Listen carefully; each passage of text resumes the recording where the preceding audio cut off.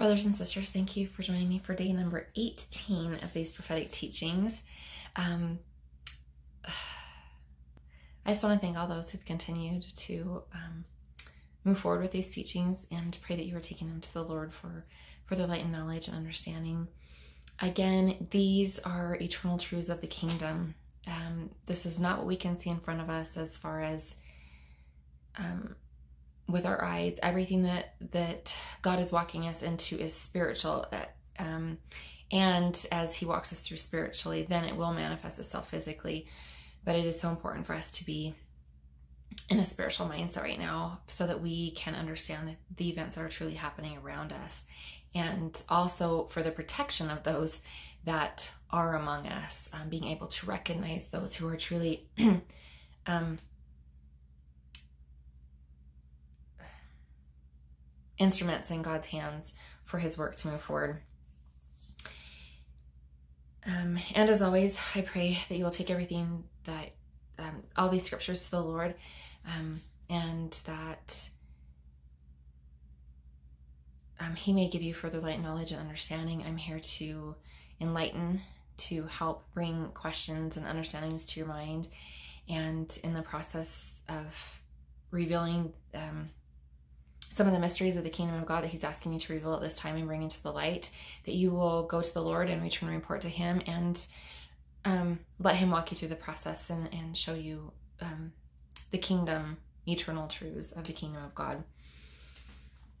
Um, so, with that being said, today we are going to be in Luke 1. So, if you'd like to get your scriptures and follow along.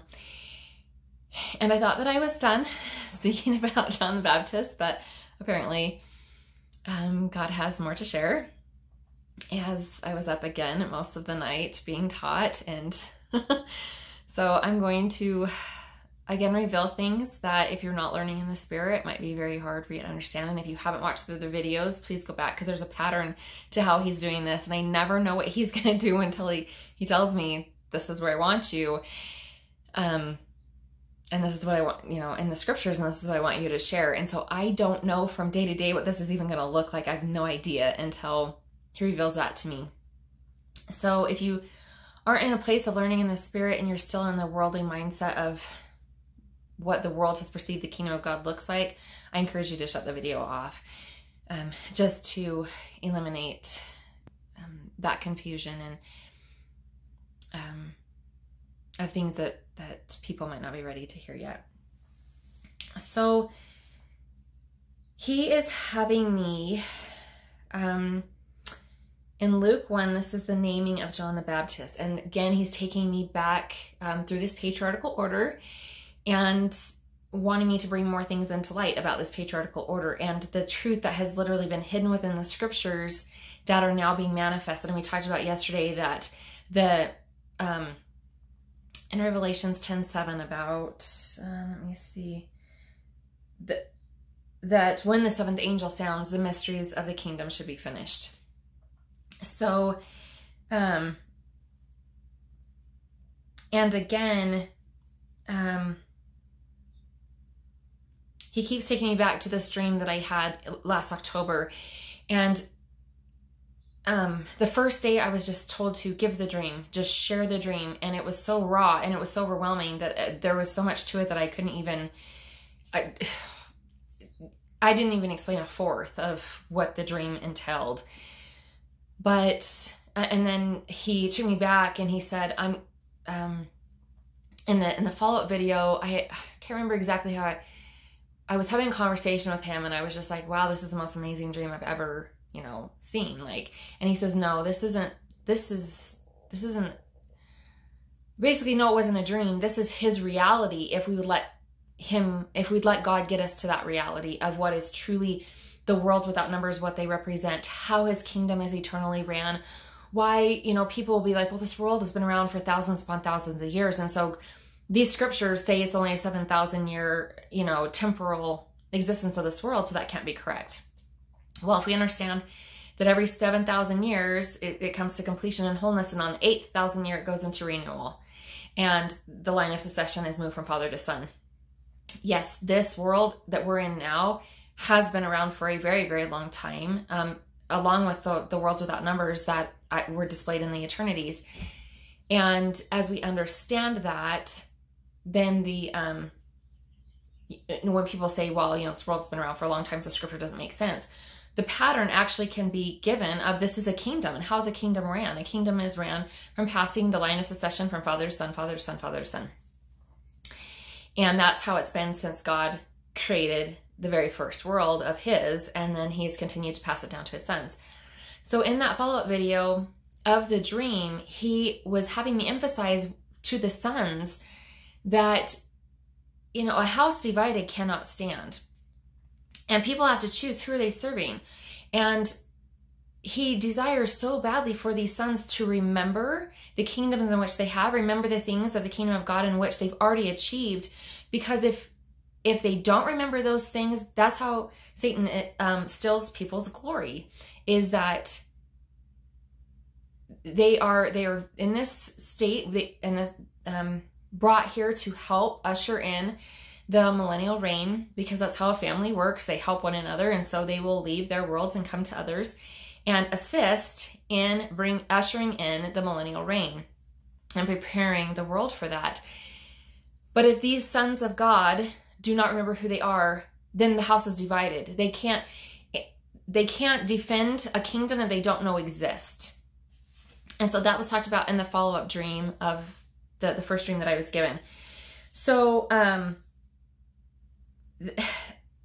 everything that he's had me teach over the last few days is the patriarchal order of the sons of God, and it is so important that the sons of God understand from the kingdom mindset, not from what the world has taught them this patriarchal order is, but what the kingdom patriarchal order truly is, and what that looks like in God's eternal family, because it is vast and it is just oh, it's just vast. That's all I can explain. It's mind blowing to see. Um, I still, just to think about what I was showing, just kind of overwhelms me a little bit because it was so much.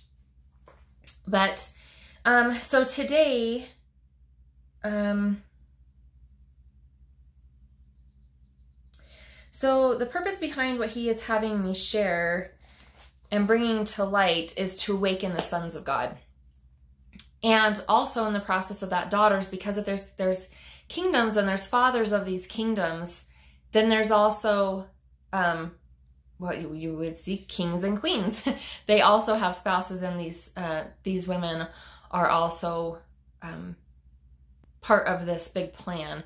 And right now i i feel strongly in my heart that this the process has been that now the women um, most of the women have been awakened, and now the women will help the sons of God um, step into their roles. And again, this is for the house of Israel. So, um, it, it, that's all I can say. It's, this is for the house of Israel. And at the end, I'm going to again rock the boat, but it will bring absolute light and understanding to another mystery that's been hidden. But as we see it, it will absolutely bring things into a completely clearer perspective on God's kingdom work. So we are going to go first. Um, we're gonna we're gonna go from in Matthew one, from fifty seven through eighty, and this is the naming of John the Baptist. So fifty seven. Now Elizabeth full time came, and she I'm sorry, that she should be delivered. And she brought forth a son. And her neighbors and her cousins heard how the Lord had showed great mercy upon her, and they rejoiced with her. And it came to pass that on the eighth day, so we just talked about that, the number eight is renewal. Um, they came to circumcise the child, and they called him Zacharias after the name of his father. And his mother answered and said, Not so, but he shall be called John. And they and they said unto her, There is none of thy kindred that is called by this name. And they made signs to his father how he would have him called, because if you remember, his his uh, voice was taken. And he asked for a writing tablet and wrote, saying, His name is John. And they marveled all.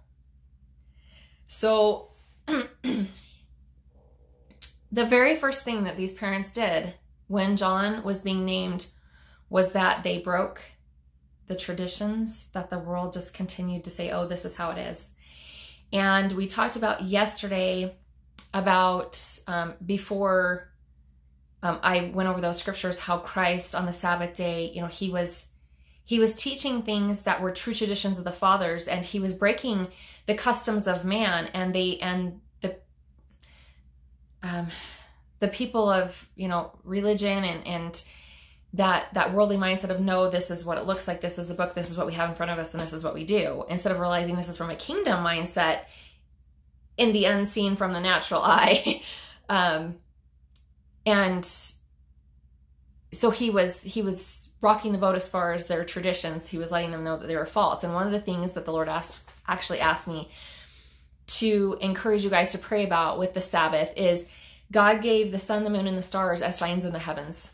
But have you ever asked what those signs in the heavens are actually for through god's eyes? So that might help you with the sabbath. So again here is john the baptist's parents giving a name that is not in their family line. It was given to them by God. And they're breaking the customs and the traditions of their fathers. Um, and because of that, and so the very first thing they did that when when John came to the earth was the traditions of the fathers were being broke. And if we remember when Christ was speaking in the temple at age 12, and what he revealed to me was he was teaching that the promises that turning the hearts of the fathers to the children and the, and the children to the promises of the fathers. And this is the promises of the fathers. This is what was being displayed in john's um, in the naming of john. Okay so 64 sorry this is a lot and i kind of get overwhelmed sometimes so i'm sorry if i get excited and talk fast. It's just when the spirit is upon me it's it's i just get super excited. Um Okay, wait, sorry, 63. Oh no, okay, we talked about 63. 64. And his mother was opened, sorry, and his mouth, sorry, was opened immediately. So so now John the Baptist, um, father's mouth, um, was opened immediately. And his tongue loosed. So now he's going to share all the things that he wasn't allowed to speak during this process. And he spake and praised God. So this is God from the first kingdom, from the heavenly realm. Okay. And fear came on all that dwelt around about them, and all these sayings were noise, noised abroad throughout all the hill country of um, Judah, Judea. I'm sorry, I said that. Judea. And all they that heard them laid them up in their hearts. So these teachings were supposed to be taken to our heart and, and returning and reporting so that Christ can truly walk us through the process of these these higher understandings. Um,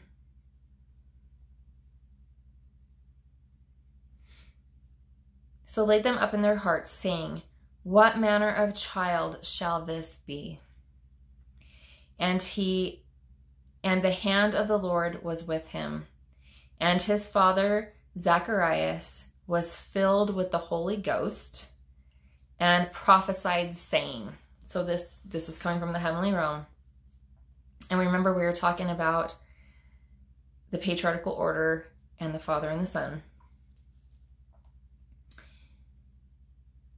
So this is what Zacharias said with the Holy Ghost filling him. Blessed be the Lord God of Israel. And again, all these teachings are speaking to the house of Israel. For he hath visited and redeemed his people, and hath raised up an horn of salvation for us in the house of his servant David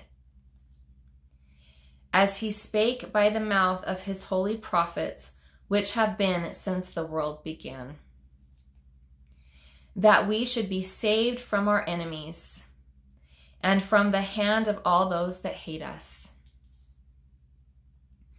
To perform the to perform the mercy promised to our fathers, and to remember his holy covenant, the oath which he swore to our father Abraham. So let's stop there. And this promised oath was that the restoration of this covenant, um, the Abrahamic covenant, was the restoration of the gospel uh, in the last days for through the kingdom gospel, all um,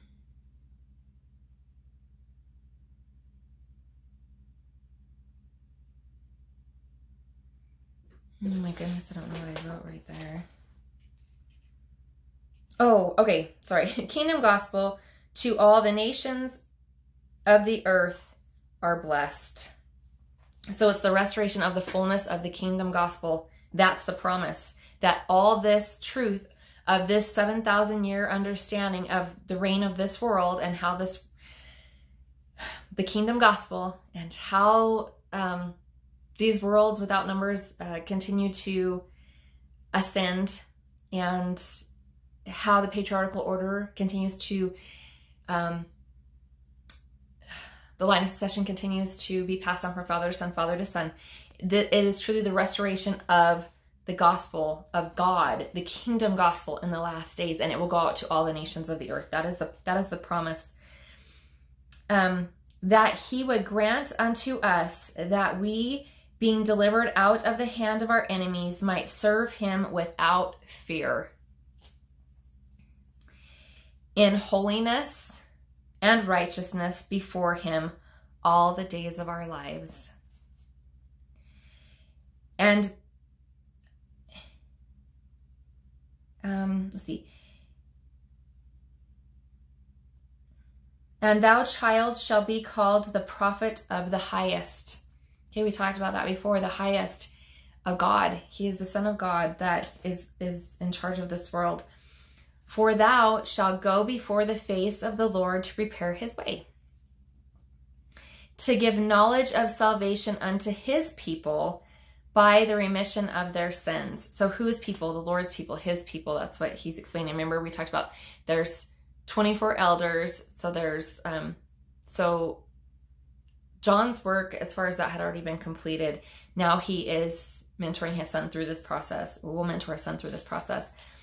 To give knowledge of salvation unto his people by the remission of their sins through the tender mercy of our God, whereby the day spring from on high hath visited us to give light to them that sit in darkness. And this is what is happening now.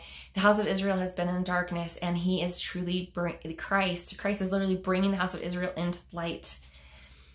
And in the shadow of death, to guide our feet into the valley of peace. And that true peace and joy truly comes through the Savior walking us through this process. And the child grew and waxed strong in spirit. So, again, all these things are to be taught in the spirit. And was in the desert till the day he of his showing unto Israel. So, again, uh, the house of Israel is hidden and they're now being brought into the light and they have been hidden just like John was hidden just like Christ he he was hidden from the people until um, his mission was brought into the light. Um,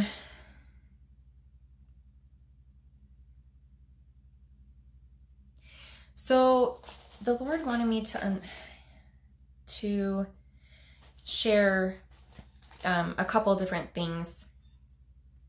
The first one is if we understand eternal life and how it works, then we understand why Satan has not wanted children being born into this world because he knows how people return, and that is through birth, but he does not know um, when they will return. He only knows how. So he doesn't know who or or uh, when. He just knows how. And so, what a better way to um, just like you know in Christ and, and John the Baptist time. I mean, they were they were killing the babies. It's no different now because Satan knows that his time is very short. These people are returning, but if we don't understand eternal lives and how they actually return um, and become spirit led, then then how will we know the people that are um, in front of us? The Spirit will manifest those things to us, and I believe that that's the teaching He's going to have me do tomorrow, but we'll see. Um, we must become a spirit led people, that our hearts are not hardened and our minds, um, we allow Him to renew our minds and we allow Him to take, we allow Christ to take us from this worldly mindset to a kingdom mindset because uh, the things of the Spirit, they will now manifest themselves onto the earth physically. But we still have to be able to recognize in the Spirit who is standing in front of us because what happened with both John the Baptist and Christ? they were killed because people did not stop it and and be led by the spirit on who they were they just absolutely wanted to um, condone everything that they were doing um, and another thing that he asked me to share is in revelations 10 11 uh, um well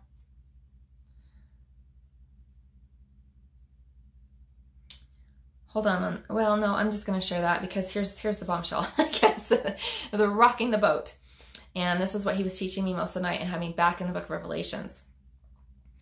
So there has been um, confusion forever about the Book of Revelations, what John actually was given this vision of the Book of Revelations, and is actually John the Baptist, and that's why it talks about the tribes the, the 24 elders. John the Baptist was given this revelation and understanding to complete um, his, um, to the completion of this kingdom.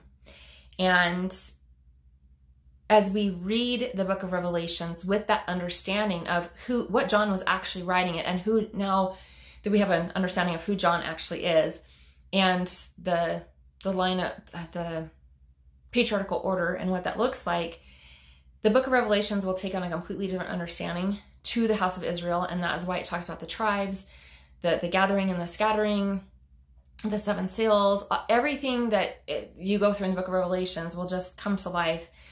But if we don't understand eternal lives, um, then in Revelations 10 11, the angel is actually telling John, and he said, Thou must prophesy again before many people and nations and tongues and kings.